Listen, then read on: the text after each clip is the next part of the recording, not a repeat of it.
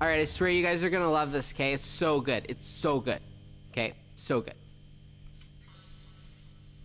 You're doing a great job. Ha.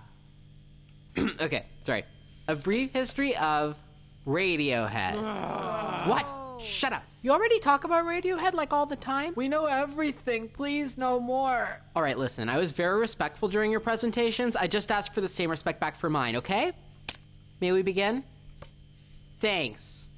In 1985, at a 750 year old boys' school in Oxfordshire, England, a band formed. Originally calling themselves on a Friday, because that was the day they would usually practice, they would casually play gigs around town until the band members had to leave for college and the band went on hiatus. In 1991, they got back together, recorded a demo, and landed a record deal. Their new label, EMI, insisted they pick a less terrible name than On a Friday, so they chose a title taken from a Talking Head song. It was then that the greatest band of all time, Radiohead, was born. Clap. Clap for Radiohead. Ah, no! Sorry. Whoops. September of 1992 marked the release of the greatest debut EP of all time. idiot. The Creep EP Please.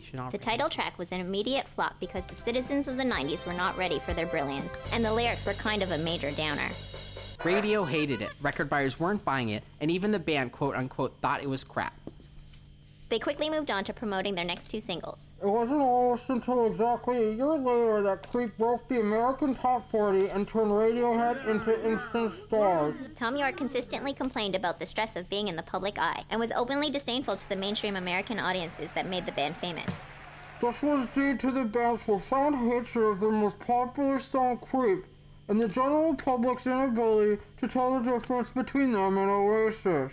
In 1995, the band released a relatively straightforward sophomore album, The Bends, one of the greatest sophomore efforts ever made. This marked the first album-length collaboration with production wizard Nigel Godrich, a protege of post-punk Britpop producer John Leckie. In 1997, Radiohead released inarguably the greatest album of all time, OK Computer, giving prog rock a turn of the millennium update.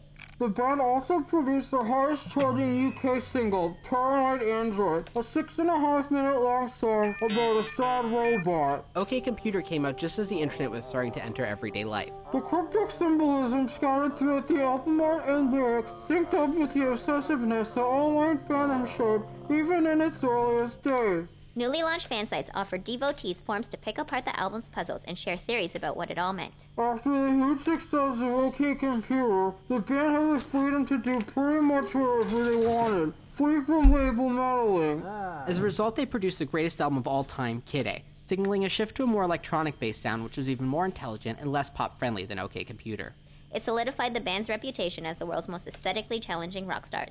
They were ahead of the curve in using the official website to interact directly with fans, keeping a running online diary during the recording sessions of Kid and its sequel 2001's Amnesiac. The greatest album of all time. By the time the group tackled the messed up state of world politics on the more guitar heavy greatest album of all time, Hail to the Thief, the band had abandoned their radical transparency and embraced an aggressively more cryptic approach. In 2007, after leaving their label EMI, they let fans pay what they wanted for the digital version of In Rainbows, which would become one of their best reviewed albums. Because it's basically the greatest album of all time. The more dedicated of us scoured the record for hidden clues that connected it back to OK Computer, and used fan sites to exchange theories and talk about how if Radiohead were an ice cream flavor, it would be every flavor mixed together. Four years later, they pulled the greatest prank of all time by releasing King of Limbs digitally, a day early before its scheduled release date. Breaking new creative ground by sampling and looping their own recordings, the album had a more noticeable emphasis on rhythm. The video for the single Lotus Bar featured Thom Yorke's virtuosic dance moves that elevated the band to a level of meme than few will ever know. 2016 saw Radiohead shift into digital obscurity by deleting their entire social media presence.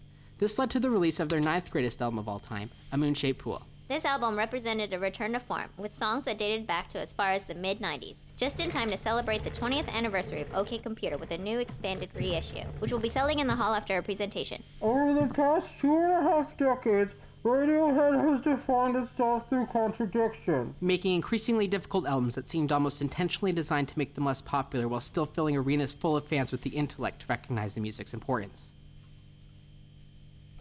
and we think they're really, really, really, really, really, really, really, really, really good. The end.